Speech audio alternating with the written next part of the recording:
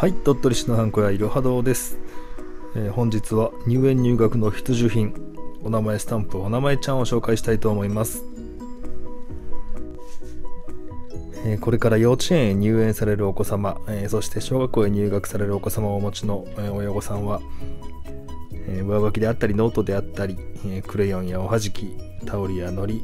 えこういったものにね一個一個お名前を書かないといけないと思うんですが、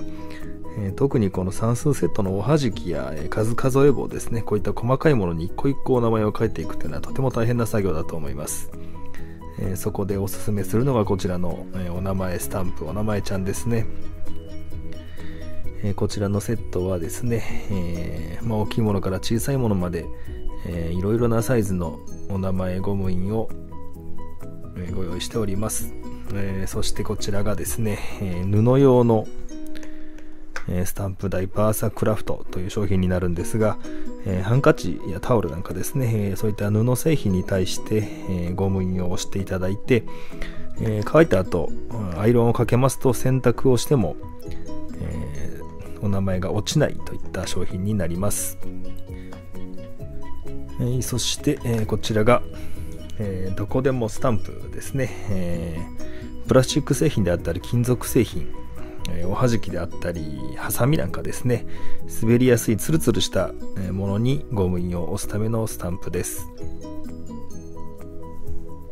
はい、えー、そして最後がこちらのスタンプスケール、えー、スタンプ用の定規ですね、えー、こちらをゴム印を押したい部分に置いていただいて、えこちらに沿って場所を決めていただいて押していただくと綺麗に押せるというそういった商品になります。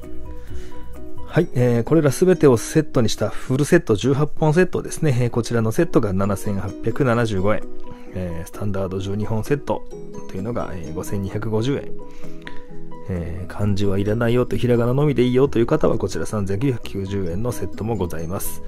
えー、台木ですね、この持ち手のお色ですが、ピンク、ブルーの2色からお選びいただけます。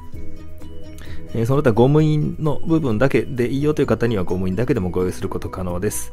えー、鳥取市で入園入学の必需品、お名前スタンプお探しでしたらぜひ、え、いろは堂にお問い合わせください。よろしくお願いいたします。